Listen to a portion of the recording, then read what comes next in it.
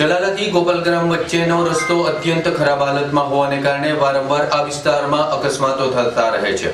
આવી જ એક ઘટના ગત રાત્રે પણ બનેલી છે, જેમાં એક બોલેરો કે જે દવા ભરેલી હતી તે મહુવા તરફ જઈ રહેલી હતી, તેવા સમયે અચાનક જ પલટી જતા ગામ લોકોએ ડ્રાઈવરને કાચ તોડી અને બહાર કાઢેલો છે. ધારીના ચલાલાથી ગોપાલગ્રામ વચ્ચે દવા ભરેલ બોલેરો ગાડી પલટી ગયેલી હતી. જૂનાગઢથી મહુવા તરફ જઈ રહેલ બોલેરો પલટી જતા ગામ લોકો દોડી ગયેલા હતા. દવા ભરેલા બોલેરો ગાડી ગોપાલગ્રામ પાસે પલટી ખાઈ ગયેલી હતી.